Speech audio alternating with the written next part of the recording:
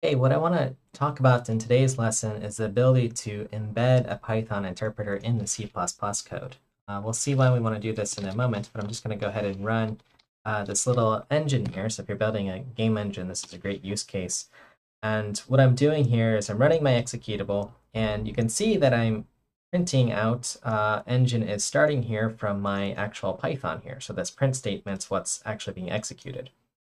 Um, so you can have these individual statements executing, or of course you can have a script um, that's been loaded and running these uh, files so that you can really uh, sort of embed your engine in Python here, which is kind of cool. So anyway, I'll just show you a simple example and you can build off of this. But um, what I also want to show you is through the Python interpreter, which you can have one instance of, you can, if you've created a uh, Python module of your C++ code, you can also use those objects or functions or whatever the other C++ code is in your Python. So in this example, I have this character Mario here who is part of my uh, module. It's just a game object, and then I'm calling some of the helper functions um, from within uh, Mario.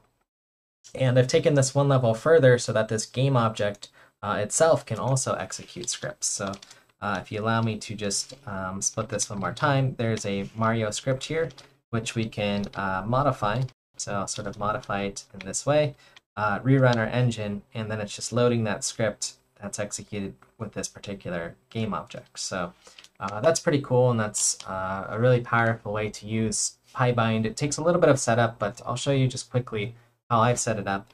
Um, first, I want to draw for a moment uh, what's going on here. Um, if you do want help, you know, the right resource um, before I even do that is to look at the PyBind documentation and how to embed the interpreter. Um, you know, it's really got some great examples of how to uh, embed some of the code here. But um, anyway, what I've built here is I have a uh, library directory here, um, which has all of the code, all the C++ code that I want to expose. So things like uh, a game object uh, class that has a particular type to it. So um, let me go ahead and uh, show what that looks like here. Um, so I'm going to quit this and um, if I navigate into my library file, you'll see I have this uh, game object here. So I'll just go ahead and open up the uh, HPP file here. So here's the actual class. Um, and this is exactly as you would write um, normal, okay? Uh, your normal just C++ code. And here's sort of an interesting um, function, which I'll talk about in a moment, the execute script uh, command, okay? Uh, let me go ahead and uh, just leave that there if you want to take a look at it, um, but then I'll close this down.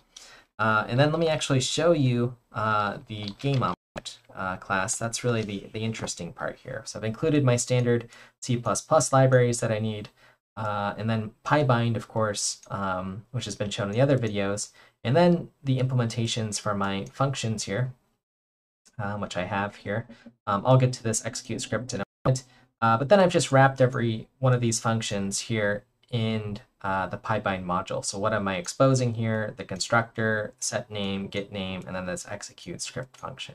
Okay, uh, that's what I have uh, shown here. Um, so the other things that are sort of interesting um, for this, as far as embedding the interpreter, um, you have to include this pybind embed.h uh, file to do that. So that's what I'll embed an instance of the Python interpreter. Um, and as long as you have that instance live, which I'll show where that is in a moment, uh, meaning the interpreter, uh, let me go ahead and just show the simple sort of example here. Um, this scoped interpreter guard, then you can do things like PyExecute, either you know typing in a bunch of lines or maybe reading them from a file. You can uh, do that there. Okay, so um, anyway, what what's sort of interesting is when I create these objects here, I, I wrote in an execute script command. So for this uh, particular instance of this object, you can load a script file that'll execute um, whenever I call execute script and uh, just opens the file and then just one line at a time reads the Python and then executes that line. Um, so if there's any errors in here, then you know you'll have to sort of fix those, I guess, um, in your in your Python code. But again, the point is I don't have to recompile the C++. I'm just working in the in the Python here. Here's my uh, Mario Py script. Okay. Um, so that's um, how I've set up the um, game object. Um, the library file here just includes my um, header file. I don't know yet. I'm still thinking about if this is the best organization for this project, but anyway, just includes all of the things that I want to uh, expose. And I was thinking this would be an easy way to maybe have um, different ways to turn on and off things that I want to uh, expose here. So, so that's what I have in this uh, lib sort of CPP. Um, okay, so let me navigate back to show you the rest of this uh, project.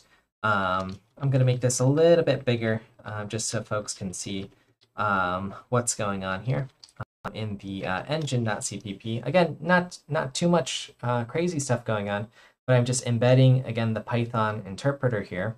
Uh, so PyBind, and then I need to start the interpreter once. Um, and my understanding is you can only have one of these instances alive uh, at a given time, um, and this will automatically be created, or rather destroyed when it hits line 28. But um, I instantiate it in my main function, so it'll be alive for this function, and then I can just execute different commands here. And here I'm just sort of one line at a time executing my Python uh, statements.